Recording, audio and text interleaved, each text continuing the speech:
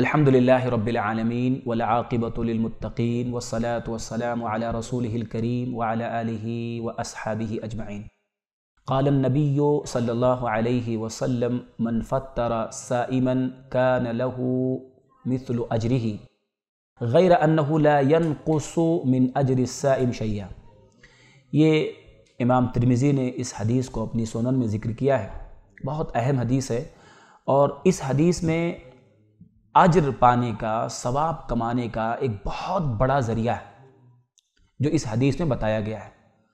और आम तौर पे रमज़ान में बहुत सारे मुसलमानों से एक कमी रह जाती है या एक गलती उनसे हो जाती है कि वो इस अज्र को, इस नेकी को, इस सवाब को कमा नहीं पाते। बहुत सारे मुसलमान जो रमज़ान में बहुत सारी नेकियाँ कर लेते हैं रोज़ा रख लेते हैं, तरावी की नमाज़ पढ़ लेते हैं कुरान की तिलावत भी कर लेते हैं, बहुत सारी नेकियाँ कर लेते हैं, लेकिन वो एक नेकी से बहुत सारे मुसलमान महरूम हो जाते हैं। वो क्या नेकी है, कौन सी नेकी है, जो इस हदीस में बताया गया बहुत अहम नेकी है, वो है किसी रोज़ेदार को इफ़ार करवाना। किसी रोज़ेदार को इफ़ार कराना, ये इतनी बड़ी नेकी है कि अल्लाह के नबी सल्लल्लाहु अलैहि वसल्लम बयान फरमाते हैं कि जो शख्स किसी रोज़ेदार को इफ़ार करा दे तो उसे उस रोज़े के बराबर सवाब, यानी जिसने रोज़ा रखा है, जिसने इफ़ार किया तो एक रोज़े के बराबर इसको सवाब मिलता है जिसने इफ़ार कराया।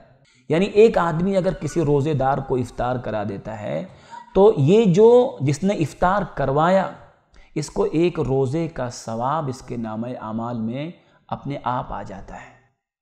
इतना बड़ा अजर कि एक आदमी, और आगे आप फरमाते हैं, गैर अनहु लायन कुसुमिन अजर साइम शैया कि जिसने रोज़ा इफ्तार कराया है, उसको एक रोज़े का सवाब इसके नाम अमाल में आया, इसको मिला। लेकिन जिसने इफ्तार किया है, वो जो रोज़ेदार था, जिसने इफ्तार किया है, उसके सवाब में कोई कमी नहीं आती है। यानी जो रोज़ा रखा था उसको अपने रोज़े का सवाब तो मिला, लेकिन जिसने रोज़ा इफ्तार करवाया, उसको एक रोज़े का सवाब और एक्स्ट्रा मिला, इसके नाम अमाल में आया। यानी आप गौर करें कि एक आदमी अगर रोज़ाना एक आदमी को इफ्तार कराता है, रोज़ाना एक आदमी को इफ्तार कराता है तो अपना तो रोज़ा रखा ही है अपने रोज़े का सवाब तो रोज़ाना इसको मिल रहा है। लेकिन एक रोज़े का सवाब रोज़ाना और इसके नाम आमाल में आ रहा है। यानी हर दिन ये दो रोज़े का सवाब पा रहा है। जिसने दो को इफ्तार कराया तो हर दिन इसके नाम अमाल में तीन रोज़े का सवाब आ रहा है। एक अपना, दो और। यानी बगैर रखे। यानी एक आदमी एक दिन में एक ही रोज़ा रख सकता है। एक आदमी अपना रोज़ा अकेला एक ही रख सकता है। लेकिन उसके बावजूद, एक रोज़ा रखने के बावजूद, वो रोज़ाना कई रोज़े का सवाब अपने नाम आमाल में जमा कर सकता है। आप गौर करें, एक आदमी अगर रोज़ाना दस को इफ्तार कराया तो रोज़ाना शाम को सूरज गुरूब होने के बाद, इफ्तार ख़त्म होने के बाद, इस आदमी के नाम आमाल में जिसने दस लोगों को इफ्तार कराया, ग्यारह रोज़े का सवाब इसके नाम आमाल में आया। एक अपना दस इश्तरा। ऐसे आप आप गौर करें कि इस क्यों ऐसा मालूम है ये ऐसा क्यों है?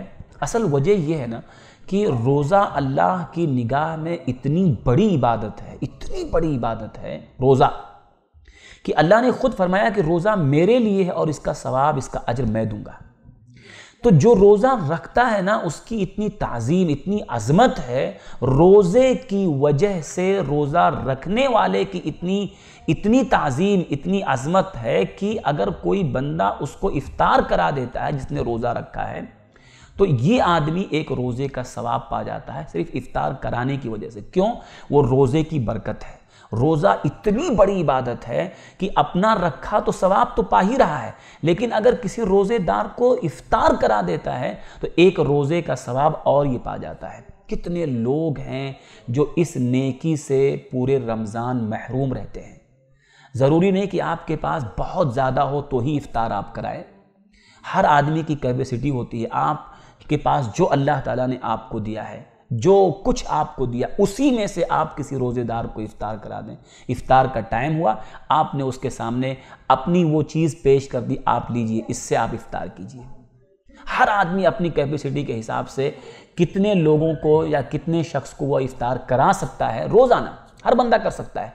लेकिन ये चूँकि शैतान होता है, शैतान का काम होता है बहुत सारी नेकियों से महरूम करना, बहुत सारे अज्र को पाने से बंदे को रोकना। तो बहुत सारे लोग इस रमज़ान में भी ये इसमें ये नेकी नहीं कमा पाते। बहुत प्राइवेट हो जाते हैं। सिर्फ़ अपना अपना अपना अपना बेहतरीन से बेहतरीन खा रहा है, बच्चों को खिला रहा है। अच्छी बात है, गलत नहीं है। लेकिन वो अपने हद तक इतना महदूद हो जाता है, इतना महदूद हो जाता है कि वो आगे बढ़ के देख नहीं पाता कि किसी और को भी इफ्तार कराना चाहिए और इतनी बड़ी नेकी है। तो इसलिए आज के इस दर्स में और इस पैगाम में आपको ये मैसेज है, ये पैगाम है कि ये रमज़ान का महीना चल रहा है और अगर हम चाहते हैं कि रमज़ान ख़त्म हो और हमारे नाम आमाल में अपने रोज़े के अलावा तीस रोज़ा तो हमारा अपना मिलेगा ही, उसका सवाब, इसके अलावा हमारे अकाउंट में, हमारे नाम आमाल में और भी कई रोज़े आ जाएँ तो हम क्या करें? रोज़ाना किसी ना किसी को इफ़ार कराएँ। एक को, दो को, चार को, दस को, पाँच को, जितना भी अल्लाह ने ताकत दिया है आप इफ़ार कराएँ। अल्लाह ताला इसकी वजह से कई कई, यानी रमज़ान ख़त्म हुआ तो कई रोज़े आपके अकाउंट में जमा हो जाएँगे। हाँ इसमें एक आखिरी बात यह है कि रोज़ा इफ़ार यानी किसी को इफ़ार कराएँ, लेकिन उसे सोशल मीडिया पे डालना और उसे जो है फ़ोटो निकाल करके यहाँ वहाँ फैलाना, वो सब ना करें। रियाकारी के लिए नहीं, शोहरत के लिए नहीं, इज़्ज़त कमाने के लिए नहीं, नाम कमाने के लिए नहीं इफ़ार कराएँ अल्लाह के लिए। अल्लाह के लिए इफ़ार कराएँ, चुपचाप कराएँ, कोई नाम नहीं, कोई शोहरत नहीं। और नीयत ये रखें कि मैं अल्लाह के लिए करा रहा हूँ। सवाब कमाने के लिए करा रहा हूँ। बहुत सारे लोग इफ्तार कराते हैं, लेकिन फिर उसका फ़ोटो निकाल के भेजना और सारी चीज़ें, वो सबसे बचे, रिया नमूज से बचे। ये चंद बातें थे, अल्लाह ताला हम सब लोगों को इस महीने में इस नेकी से फ़ायदा उठाने की तोफ़ी दे। और अगर अब तक हम ये नेकी नहीं कमा पाए, यानी इफ़ार नहीं करा पाए तो अभी भी मौका, अभी बीस रमज़ान है अभी भी हम लोगों को इफ़ार करा सकते हैं और कई कई रोज़े का सवाब पा सकते हैं। अल्लाह ताला हम सब लोगों को ये नेकी करने की तोफ़ी दे और हमें भी कई कई रोज़ों का सवाब जो है अपने नाम आमाल में लाने की और पाने की, कमाने की तोफ़ी दे। आमीन। तकबल रबालमीन अल्लाम वरहमल वर्क